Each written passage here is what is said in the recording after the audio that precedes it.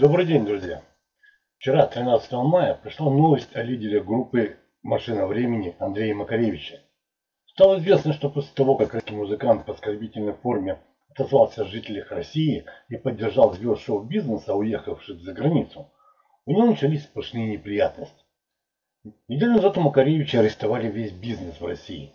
Более того, в Израиле было совершено нападение на особняк певца, в результате которого, помимо разрушений, чуть не пострадала семья Макаревича. Потом Макаревич, осознав, что оскорбил российских зрителей, захотел выступить с концертом в День Победы. Однако россияне отказали билеты на концерт перерожденца, и его гастроли в России сорвались. В связи с арестом российского миллиардера Михаила Прохорова, который помогает российским звездам шоу-бизнеса в Израиле, приостановились концерты Макаревича и Нетаванной. У музыканта был запланирован тур по шести городам Израиля. Однако неприятности продолжают преследовать Макаревича. Последнее событие буквально растоптало российского певца. Несколько дней назад в семье произошла в прямом смысле драма. Еще до недавнего времени супружеская пара Макаревича считалась одной из самых крепких в российском шоу-бизнесе.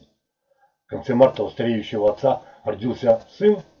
Вдруг молодой отец обнаружил в ноутбуке своей супруги приватную переписку с незнакомым мужчиной, молодым бизнесменом из Германии. Супруга музыканта, фотограф и историк. До встречи с Макаревичем долгое время работала в Берлине и была влюблена в немецкого бизнесмена, но потом с ним рассталась. Видимо, спустя какое-то время старая любовь вновь дала о себе знать.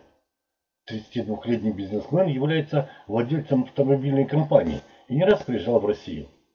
Макаревич никак не комментирует произошедшее.